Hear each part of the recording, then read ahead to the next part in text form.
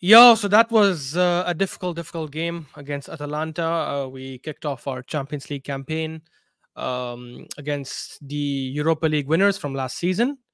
Um, and look, it was always going to be difficult. It was always going to be a difficult game. Um, I've seen like um, just from the predictions of many Arsenal fans, some expected a draw, some ex- hooks who big up hooks, obviously um, one of the most positive fans you could find, predicted a loss for us. So I understand that it was always going to be a difficult match, um, and obviously going there without Odegaard um, means we lose one of our creative outlets um, in such a game. Um, and I think if he was there, maybe he could have helped us like find some openings. But look, we need to dissect this game quickly and just talk about what happened. Um, for starters, the lineup for me, I think was was fantastic.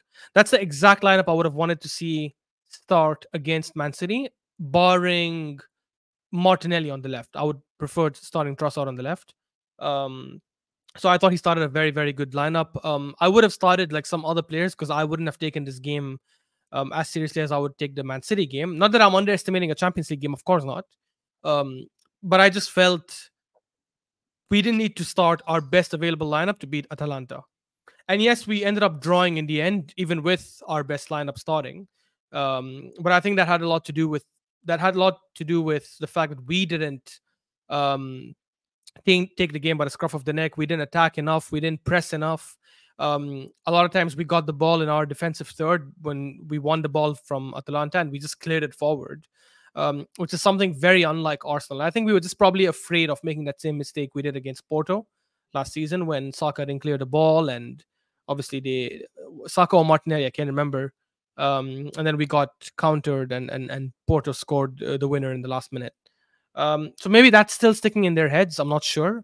Um, but given that it's the first game of the tournament, I just feel we should have taken a bit more risks. Um, so regardless of the lineup that started, I think we could have afforded to start some other players like Sterling and all, and we probably still would have won the game if we played a lot more um, adventurous and a lot more attacking, and we actually tried to press them forward and take some risky passes in the middle. Um, but yeah, I had no issues with the lineup. Um, I would definitely like to see the same lineup start against City again, barring Martinelli, um, who we are going to talk about. He's he's been having stinker after stinker. Um, I'll be honest, I, I don't I don't rate this Atalanta team. I don't know why people overhype them. Yeah, they won the Europa League last season. They obviously beat Leverkusen, an unbeaten Leverkusen, uh, gave them their only defeat, and they smashed them 3 0 in the finals. Obviously, um, thanks to an individual uh, Lookman performance. But I don't know. I just didn't feel like they were that great. Like, I think they were giving us so much space to exploit. Um, they were impressing that well. A lot of their press just didn't seem um, that coordinated. I felt like we could have easily beaten that press and, and put them in under difficult pressure. Um, but unfortunately, like our final third decision making um, was was just horrendous. Um, we tried playing a lot of long balls from Raya, from the center backs, um, and I could understand why. Maybe because Atalanta were playing with a slightly high line, which we wanted to exploit. Um, Kai Havertz won a couple of long balls and and set up um, set the ball up for others, but um, so I, I understood the game plan, but I just don't think we executed that well. So if you're going to play on long balls like that, then you have to commit more people forward so you can win the second ball. Um, but if you're going to rely on building from the back, I understand why you'd only have one person up front and then you slowly build. We did neither yesterday. We did neither well, I should say. We tried doing the long ball thing, um, but I don't think we did it properly.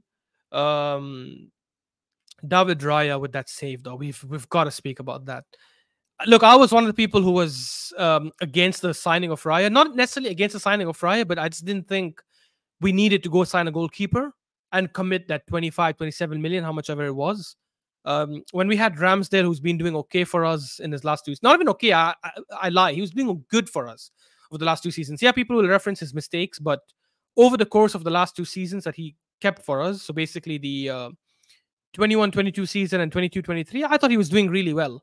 Um, so I don't think I didn't think it was a position we had to strengthen, but now when you look back at it and you look at how incredible Raya has been, yeah, now that's a mistake. Like that, that I hold my hands up. Hundred percent, Raya was a fantastic, fantastic signing. He's not just an incredible keeper in terms of playing with his feet and building from the back, but he's also a fantastic shot stopper. He's incredible at collecting crosses. Um, an issue that Ramsdale had, um, I should say, um, with us, and many keepers have that in the Premier League. We've seen Vicario, who's um, infamous for not coming out of his line properly and collecting crosses, and that puts his team under a lot of pressure. Raya is probably one of the best keepers in the league at coming out and getting the ball. Um, and some of the saves he's been pulling have been phenomenal. That double save is probably one of the best saves I've seen from an Arsenal keeper in a long time. In a long time. I do remember um, was it Szczesny? I think Szczesny pulled a double save against Liverpool uh, when we beat them at Anfield um, 2 1. I think that was 2012 when Van Persie scored that volley in the end. Um, I think it was Szczesny. I could be wrong. Um, that's the last time I remember seeing such an incredible like save in in in, in that period. Like it was just phenomenal. So he obviously kept us in the game. I do think it was a slightly soft penalty. I, obviously, Thomas Partey was pulling him. But I think once, uh, I think it was Ederson, once he got in the box, I think Partey kind of let go. Um, but obviously, he was looking for it, and the referee ended up giving it. Fair enough. You cannot blame the referee here. I think Thomas Partey also should have been a bit more careful. Um, but in the end, when the penalty was given, David Raya stepped up because if Atalanta scored, the game was done. There was no way we were going to come back. Yeah, we probably would have come out a bit more. We would have attacked a bit more, but I think we were just too nervous. It was our first game back the season uh, in the Champions League, and we weren't um, as creative enough in, in finding solutions. So I think had they scored that penalty, it would have been done for us. We would have lost that game.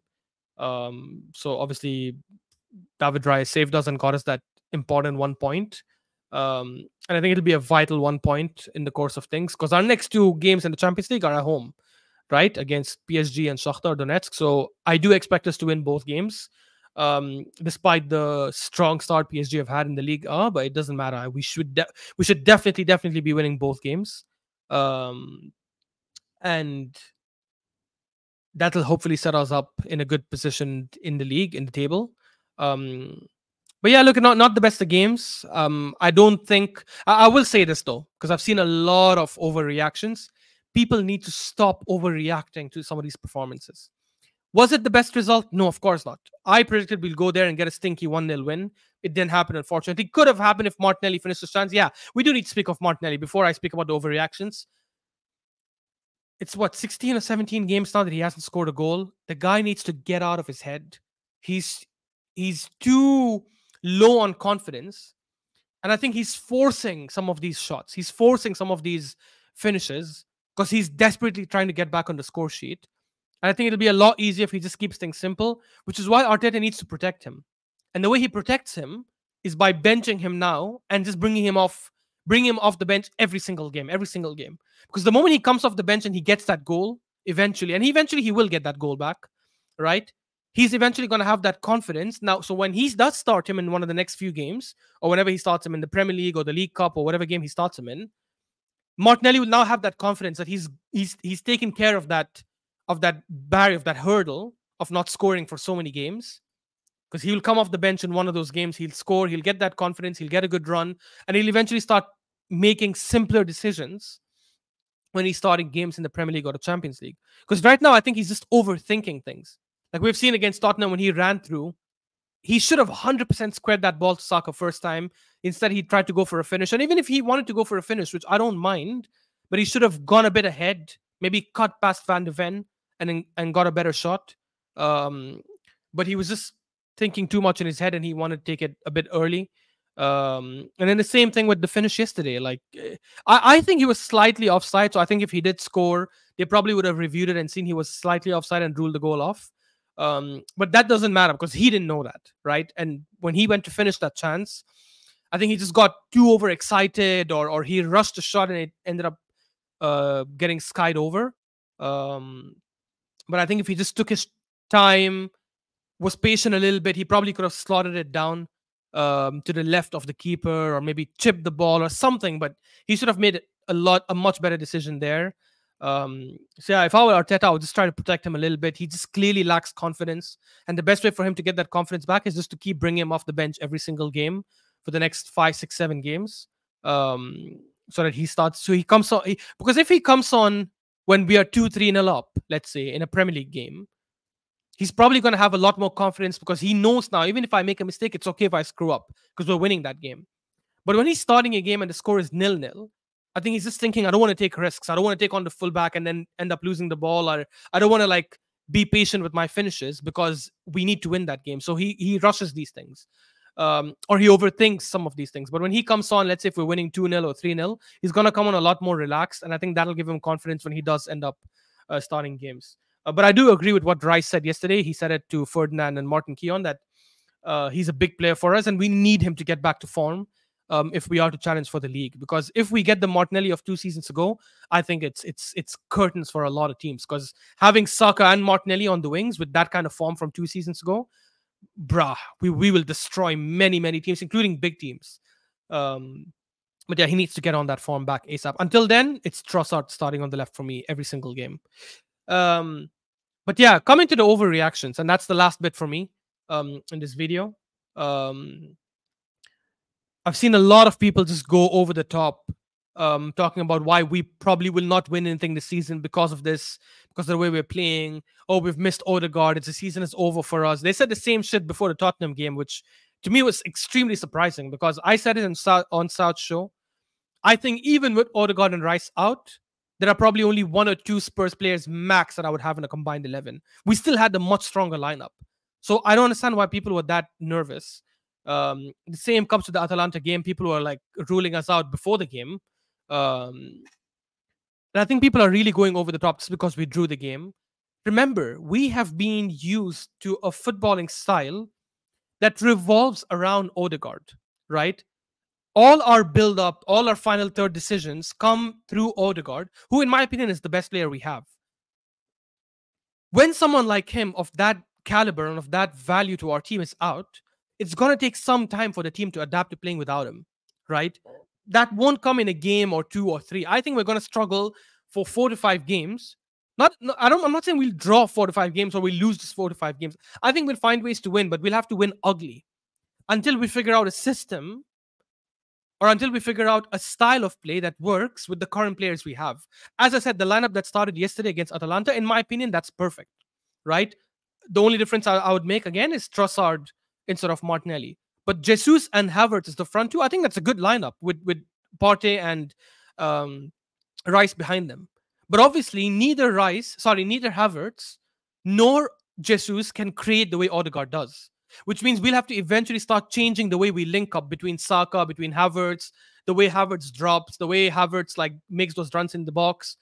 We'll have to eventually start figuring figuring out a different style of play until Odegaard is back in the team and until we get both him and Moreno back. Um, so there is going to be an adjustment period. We saw that in the first half of last season, right? We were trying to accommodate Havertz in the middle, which was a horrible, horrible decision. I think uh, Arteta was just trying to force it.